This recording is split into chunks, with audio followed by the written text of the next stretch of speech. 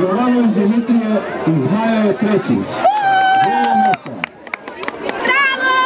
Kamenović Dragan Crvenkapa. I prvo mjesto Vuk Aleksić iz Nevena.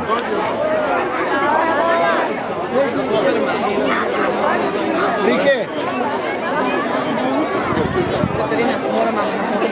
Da ponovimo, Vuk Aleksić Neven prvi, Kamenović Dragan Crvenkapa drugi, Jovanović Dimitrije Zmaj mjesto.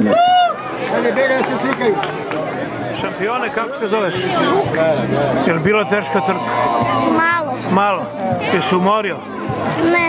Gledaj kako su ovi momci, teško je bilo, a? Jesi trenirao? Da, treniram gimnastiku. Gimnastiku i ti? A kaži mi, se pripremao malo, jesi trčao? Da. Jesi. Dobro, koje ško- e, ideš u školu? Ne, u Zamoviš. Koji vrtić? Neven. Neven, ko ti je vaspitačica? Rada. Dobro, ajmo tebe da čujemo. Kako je bilo? Dobro. A? Dobro. Koliko imaš godina? Sedam. Da. Reci mi kako se zoveš? Bramerović Dragan. Je li bila teška trka? Da. E, Gde ideš u koji vrtić? U Crven kapu. U Crven kapu. Crven kap, dobro. Ko ti je vaspitačica? E, Dušan, Duda. Ti, Daso, kako se zoveš? E, Dimitrije. Dimitrije, ti voliš sport, jel? Da. Je li bilo teško da se trči? Pa, Gužva je bila velika.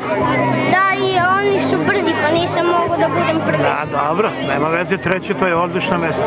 A kaži mi, jel treniraš malo nešto? Pa treniram košarku. Bravo, odlično. E, Ko ti je vaspitačica? Um, pa Smilja, ali sad je menja jedna Ivana. Dobro, koji to vrtić? E, Zmaj.